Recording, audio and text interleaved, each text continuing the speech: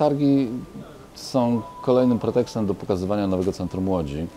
E, To jest 100 hektarów odzyskanych terenów w centrum miasta. E, Nazywamy to bardzo różnie, nie wiem, zszywaniem miasta, operacją na otwartym e, mieście.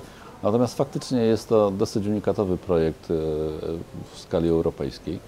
Co prawda sporo miast próbuje realizować projekty związane z terenami kolejowymi, z terenami wojskowymi. Natomiast nam się udało odzyskać e, 100 hektarów w centrum miasta e, i próbujemy zachęcać deweloperów do tego, żeby e, rozpoczęli tam e, swoje działania. Udało się nam skomercjalizować e, sporą przestrzeń w nowym centrum Łodzi. E, Duży ruch, jeśli chodzi o deweloperów. Dobre ceny, nigdy takich wysokich cen za metr kwadratowy w Łodzi e, nie było. Dobrze, źle, zobaczymy jak to będzie wyglądać, ale e, faktycznie podnieśli bardzo wysoko poprzeczkę nabywcy tego gruntu.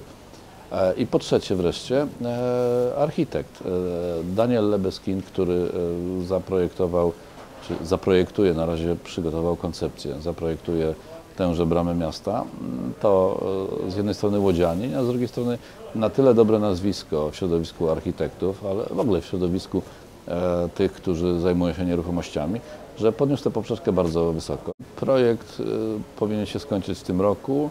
Budowa powinna się zakończyć się na przestrzeni dwóch najbliższych lat, a czyli najpóźniej e, w 2016 roku powinniśmy mieć gotowy obiekt, który z, patrząc na bryłę i patrząc na koncepcję, która e, jest proponowana, jest dosyć skomplikowany. Pierwszy raz będziemy też mieć pewne możliwości, których dotychczas e, w Łodzi nie było. Mm, Mam nadzieję, że inwestor zdecyduje się także na to, żeby e, zastanowić się nad gruntem po drugiej stronie ulicy i zrobić na przykład e, przewiązkę nad, nad ulicą, co spowoduje zupełnie nową jakość.